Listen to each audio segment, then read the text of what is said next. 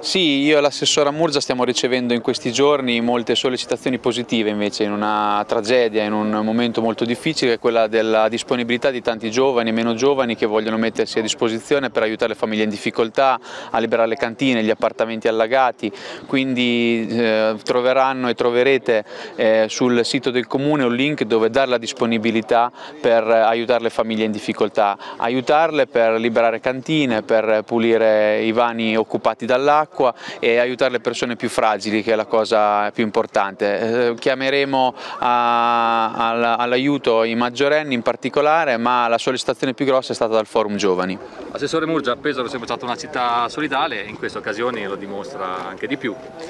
Sì, l'emergenza ha dentro di sé anche il lato umano delle persone, oltre la tragedia che vediamo non solo qui nel nostro territorio, in Emilia Romagna specialmente,